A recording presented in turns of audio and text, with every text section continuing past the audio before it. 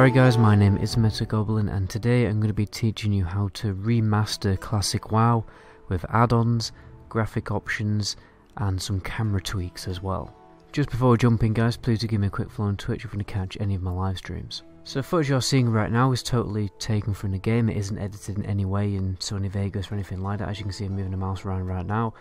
This isn't like photoshopped, it's, it's nothing like that and because YouTube actually limits the amount of megapixels actually you know I can render in a video and how it like encodes it but this what you're seeing right now will probably look actually even better basically on your own computer on, on, on your own version of World of Warcraft so let me show you a number of things that I do uh, to basically make my game look you know basically infinitely better than the default settings than what World of Warcraft will basically enable, well, allow you by default.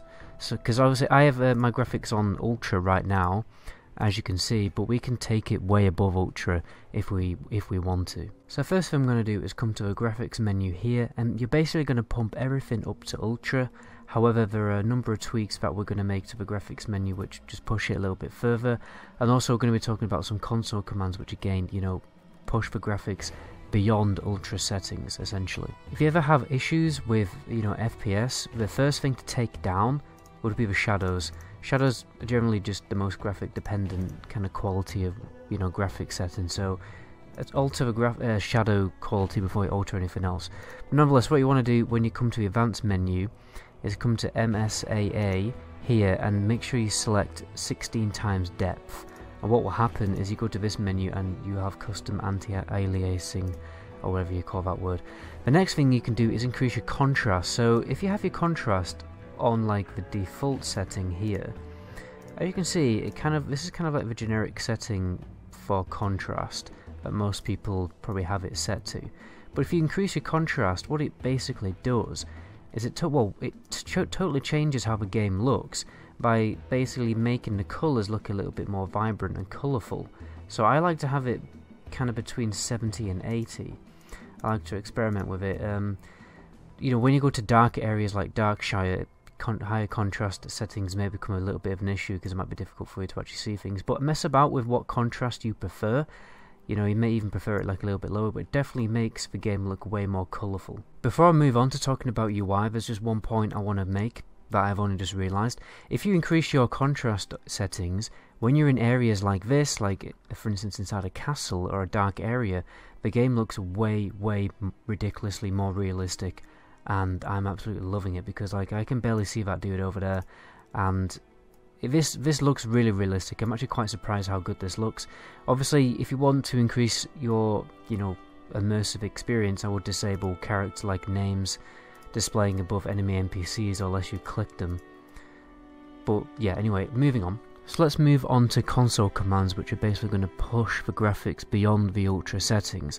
There's only a few things that you can tweak. Mainly it's the ground clutter and the distance of the ground clutter and a little bit of view distance and you can tweak the shadows slightly. That's the, those are the main things that you can adjust. So this is the first macro here. I will have all the macros in the description. If I don't have them, you know, give me a slap on the wrist and remind me. Essentially this basically makes the ground clutter look a lot better. If you look at this macro here, this is basically a graphics low option. So if I press it on low, hopefully I won't pull that mongrel. If I push, push this on low, you can obviously see the massive difference that this makes. The main thing that it does is obviously increase the detail and the variety of grass on, well, or ground clutter, or basically that you can basically see. If I press the macro again, you can see more, and it's not just grass. If you, if I go over here, I'll show you something else. Like, you if you see these rocks here, those rocks will actually disappear as well. So it's not actually uh, exclusively for grass. It is like other effects as well. And as you will notice, if you look far into the distance, let's look at the uh, keep. I can't remember the name of that castle. Look at the castle in the distance. Basically, if I press the low settings, we can see less of that castle in the distance. If we press the high settings, we can see more of that castle in the distance. The next macro we're going to be looking at is just a quick shadow macro. So I have it on the lowest settings at the moment and as you can see the shadow is basically just one big black kind of splodge. If you press this macro it changes it slightly to basically have little gaps in it and little indents to basically make it more realistic. And it, as you will probably, if you look close enough, it will more closely follow the actual shape of the object that it's actually shadowing rather than it just being kind of like a random placeholder shadow. Like you can even see, if you look very closely, you can actually see my horse's tail. If I zoom in a little bit, like you can actually see the like detail of a horse's tail. So that's basically what that macro does. The next thing I'm going to talk about is the camera options. So many people don't know this, but you can actually enable the action cam in Classic WoW, even though it's supposed to be like a retail exclusive feature. For some reason, I think it's because Classic WoW actually uses the Legion client, and Legion client introduced the action cam. So this is just a strange thing that you can actually just basically enable in the game. I'll show you the macros here. You've got slash console action cam full, and then I've got one that basically just turns it off so it goes totally back to normal and you can press it back on like this. So yeah, it's pretty cool how you. I've always really liked this action cam. It's definitely pretty good for more solo content where you're out on the world doing leveling or just you know doing some exploration, just whatever you're doing. It is probably not best to use in raids and stuff like that because you can't see your positioning very well, but I mean, I'll show you what it looks like because I just I just think the action cam looks really cool. Like if I just pull this mob here, excuse the fact that I have no crossbow skill. Um, and it feels like it just makes the game feel totally different with a very simple camera tweak. It almost feels like you're playing um, like the third person view of Skyrim instead of like World of Warcraft. So that's something that I really like. So the last thing I'm going to talk about is my UI and just you know, basically all the add-ons I have downloaded in general. So the main UI that I have downloaded right now is actually called Guild Wars 2 UI. It's probably why you're wondering why you recognised it. It's also very similar to the Diablo free interface as well. So the great thing about this interface is that it doesn't clog up your screen. It's very, very minimalistic. And the main way it does that is by putting your health bar down as a red circle at the bottom of the screen. It takes a while to get used to, I will admit, but once you get used to it, you, you, it's basically like a situation where once you go black you never go back because I, I will never go back to the default uh, you, you, know unit frame being displayed like you know where my character is right now. Like I much prefer having like a health bar down there as a little circle because again it just saves so much space on the screen for in raiding I will need it for other things but when I'm doing solo content and leveling stuff it just makes the game look much better because I can actually see the game rather than it being covered by you know some irritating unit frame. Great thing about it is that it automatically hides bars when you're not in combat which is another great feature so that you can see the actual world around you when you're you know exploring the world um, apart from that, also has a, a mini map down here rather than up here, which is again a really good addition. However, there are a number of things that I have actually disabled, um, which I will I will show you right now. It has a settings menu straight here in the interface menu. There are a number of modules I have disabled, like I've disabled the chat window because I didn't like it too much. I prefer the default one. Uh, I've disabled buffs and debuffs. Buffs and debuffs, and buffs and debuffs. Sorry, they normally display around here, like basically above your like target frame. I didn't really like that too much, so I put buffs back in the top screen. And you also have an immersive questing window, which is something I'm definitely going to basically show right now. I've also disabled the group frames to the default ones because, again, the default one, I don't have an issue with the default ones at all. But let me show you this interface a little bit more in action. Um, I've got combo points generating on the target rather than like they're going kind of going like across. By the way, that little golden frame as well, that's displaying like whether the target is elite or not as well. But anyway, let me show you the immersive questing pane, which is basically exactly like the immersion add-on, which I've displayed on my channel before. And it's very similar to the Guild Wars 2 interface as well, and it also takes some sounds from the Guild Wars 2 interface as well, which, which again is a pretty cool feature. So I'm just going to show you what accepting a quest looks like this add-on. If you press the quest here, it will basically display this uh, kind of like immersion menu with your character model and the you know target character model having like a mini conversation you, you click the screen it goes to the next dialogue option and shows you more information as the you know from the quest text basically I'll talk you through some other cool elements of this add-on. So you obviously notice that the micro bar is in the top left right here. This is basically to minimize space taken up like by the bottom of the screen so it isn't too clogged up and obviously the screen is more clear. You, basically have um well one thing I will show you actually is the character menu because the character menu is pretty good. The reason why I disabled it is because I couldn't see my actual stats so I'll show you that very quickly. So this is the character menu. They've made it basically look exactly how it does in Guild Wars 2 you can select all your skills down here and the main thing I really like is reputation menu. This is pretty cool. It's a great way to keep a track of all your reputations um, you got your talent menu here as well. But I have most of these things disabled because it's just not to my preference but like I think a few people you know may prefer this. Uh, there's also a future spell um, option here as well which I, I haven't tested that yet but um, it's probably very useful for leveling.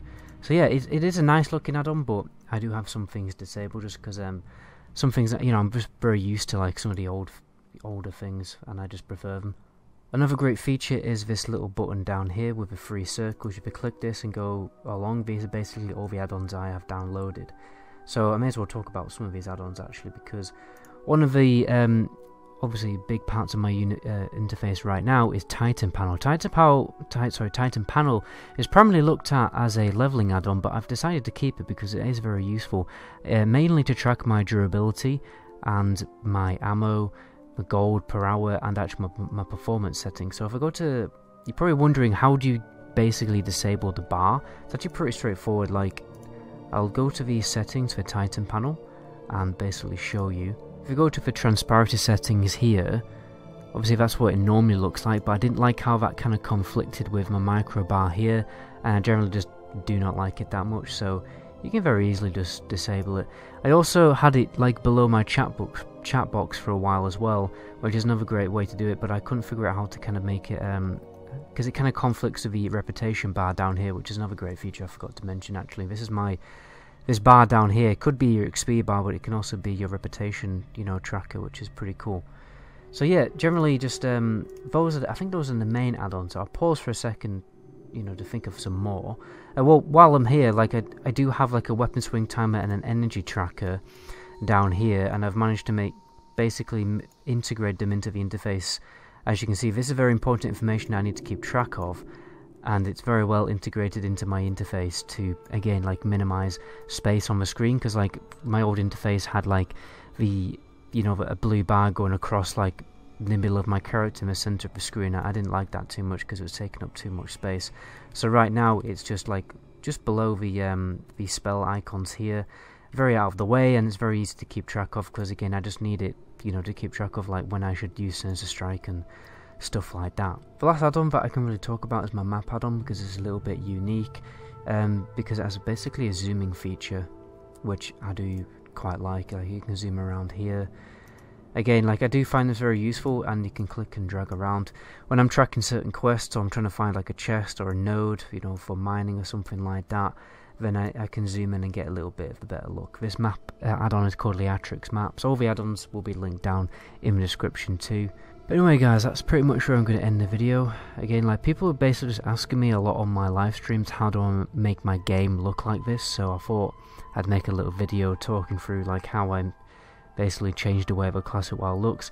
I do primarily use this interface essentially to, you know, when I'm doing like immersive leveling on my own, because obviously you do not need to know your position very well you know very much when you're just doing some solo leveling. So it's a great it's a great interface for that but again you probably want to tone tone it back a little bit for when it comes to raiding. The, the UI itself is totally fine for raiding. Uh, you just have to definitely get used to like having your health bar at the bottom of the screen rather than you know in the default position.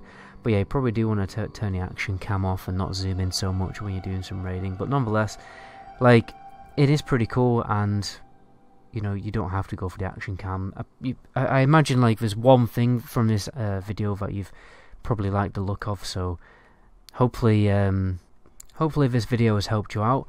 Um, at the end of the day, when it comes to Guild Wars 2 interface, I it, it's definitely a lot to get used to. Uh, at uh, at the beginning when I first downloaded it, I did find it kind of frustrating and stuff like that. But I definitely recommend to stick it out, guys, and just kind of put up with it because it is a very rewarding add-on once you get used to it. And I, I will just never go back to using the default WoW interface anymore. And if if Guild Wars 2 uh, interface is ever not supported for WoW, I'm going to be pretty upset.